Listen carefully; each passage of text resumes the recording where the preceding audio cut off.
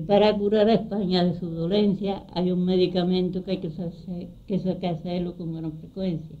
En que modo de hacerlo es imposible, allá va la receta, pues si es que sirve. Hacer un cardero de 15 mil metros y a todo el que vive de la política se mete dentro. Cuando ya el cardero bien repleto usted, se le prende fuego que esté bien de cuestión de un mes.